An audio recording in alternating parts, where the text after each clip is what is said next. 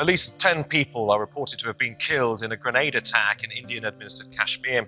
It comes exactly two months after New Delhi revoked the region's special status. Meanwhile, hundreds of people in Pakistani administered Kashmir are marching towards the unofficial border to protest against India's actions in the territory. Indian administered Kashmir has been under a complete lockdown since New Delhi took away its autonomy and arrested local politicians. Hyder has more from Muzaffarabad, the capital of Pakistani administered Kashmir. The Jammu Kashmir Liberation Front, which is also a political organization and active on both sides of the line of control, also known as the line of divide.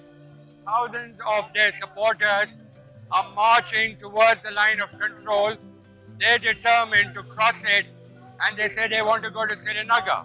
The problem is for the Pakistani security forces, they cannot let that happen because of the tense situation between India and Pakistan. The main purpose of this rally is to show solidarity with the people of Kashmir, to also reject and condemn the brutal oppression by Indian security forces in Indian administered Kashmir.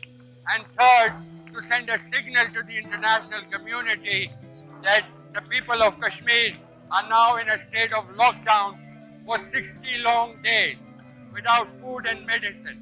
We are uh, participating in this march for uh, freedom of our country uh, because India has seized our country from uh, last uh, two months uh, and we want to to show our people that we are with them.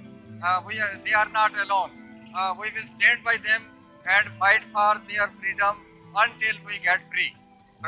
There's a lot of excitement and also tension in the air.